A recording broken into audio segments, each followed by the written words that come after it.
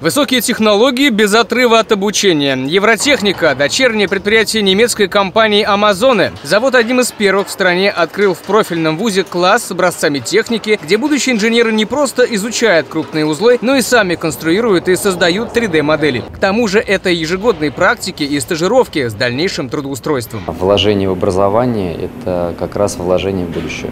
И э, «Амазоны» имеет многолетний опыт работы именно с вузами. Поэтому чем больше людей будет не бояться, а понимать действительно смысл за теми техническими решениями, которые есть в современных машинах, да, тем больше они смогут там своему руководству показывать экономику за этим стоящую. Столетию предприятие дарит вузу современный разбрасыватель серии ZATS. Машина нового поколения – образец цифровых технологий в земледелии. Разбрасыватель точно выдерживает заданную норму и зону внесения по специальной карте заданию. Автоматически подстраивается под свойства удобрений, условия рельефа. ВУЗ планирует использовать машину для учебных целей круглый год. Студенты будут получать практические навыки, соприкасаясь с этой машиной в работе.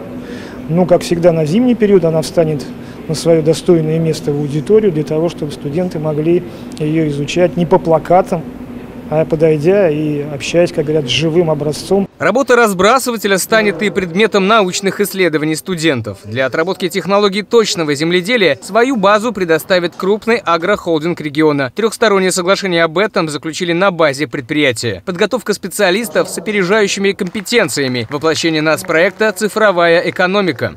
Подписание этого соглашения э, преследует все-таки единую цель это цель э, внедрения тех современных цифровых технологий э, на поля нашего региона. С корабля на бал разбрасыватели выйдет в поля в ближайшие дни. Полевые работы в регионе уже стартовали. Сергей Павлов, Дмитрий Столяров. Новости губернии.